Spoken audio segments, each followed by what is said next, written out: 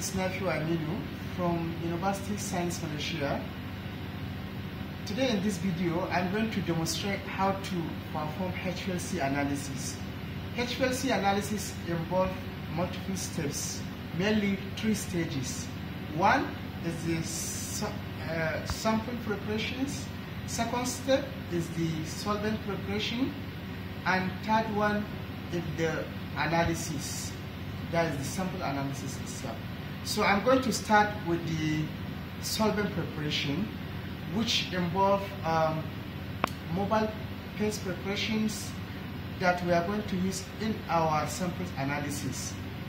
In this stage, we are going to prepare our sample by filtering it and then degas it and then get it ready for analysis.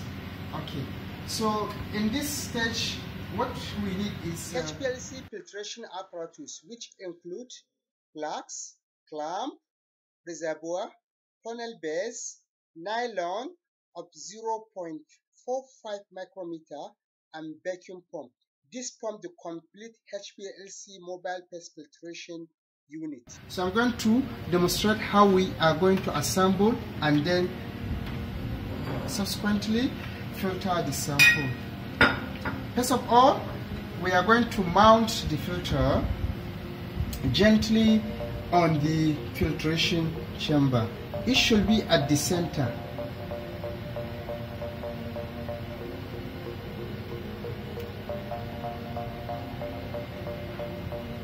Okay, then carefully put the upper system gently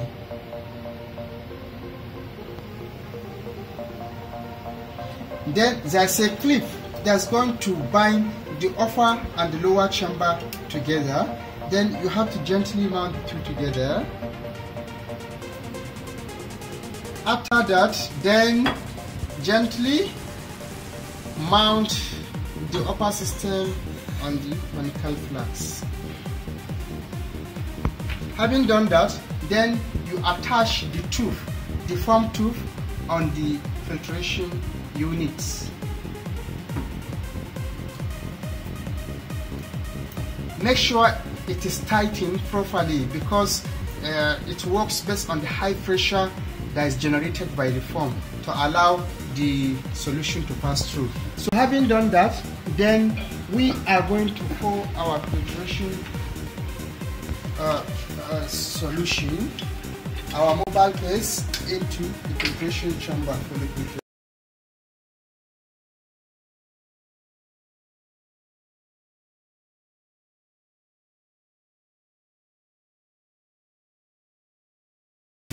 Then you gently on the system then you switch on the phone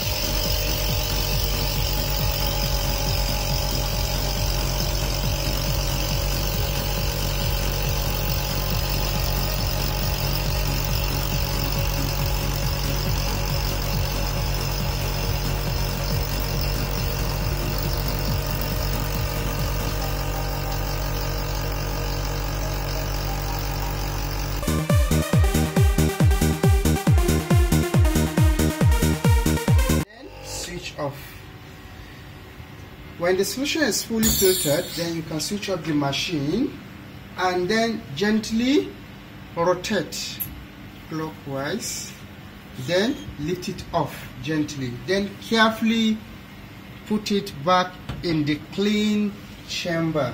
Make sure before you start, the chamber is clean, is free of any dust. Then you four. If you are not sure of the cleanness of the bottle, as a precaution, you try and rinse the bottle with a small portion of the more filtered mobile Let's like this, as a precaution, so that if there's any uh, particle, this will help to get rid of it. Then you discard discard. This is a non-hazardous chemical, so I can easily discard it in a sink.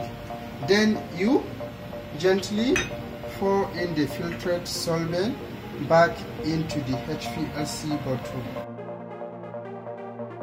this is our ready-made filtered labeled um, mobile phase then before it's get fully ready for analysis then we have to sonicate this solvent so that we get rid of any trapped air in the solvent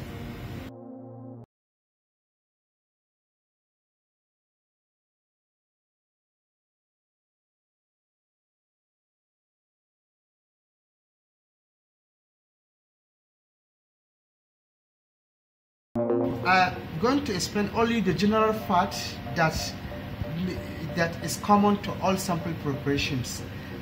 This is my sample already prepared and this is the vial which I'm going to transfer my sample in and this is the syringe that I'm going to use for the filtration of my sample. So first of all, I'm going to label my sample vial okay having done that then I'm going to inject my sample into the vial so I want to explain one thing depending on the volume of the sample then you select the appropriate volume. This is the minimum volume that each sample must reach. I mean it cannot be below this this 0.5 I mean each sample must reach at least 0.5 ml for the HPLC uh, needle to be able to reach and withdraw the sample for analysis. So as a precaution, you always try and make sure that your sample reach at least up to the uh, around the maximum that is 1.5 or at least or at least 1 ml for a proper analysis. In case where you have a very little sample uh, to, to, to, to you to run, then there's a insert there's an insert available which you can use this is a I think uh, it can uh, it can uh, be used for a sample that are very little in nature of less than 1 ml. So you can insert your sample here and mount the insert insert in the HPLC vial as such.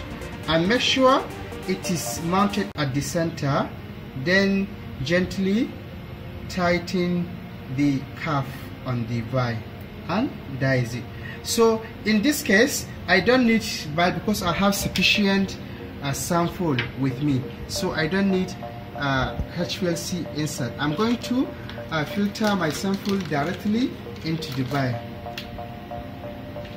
this is the syringe and you need this membrane filters they come in different sizes and different force sizes and from different uh, uh, manufacturers so today I'm going to use the most commonly used HPLC membrane for sample. So I'm going to withdraw the sample from the syringe then having done that then I'm going to mount the membrane filter on the syringe. I'm going to tighten it. You roll clockwise. Having done that then you take the vial and gently it's always advisable to discuss the first few ml you discuss it? My sample is not hazardous so I can directly discard the first few ml into the sink okay then I'm going to add the sample directly into the vial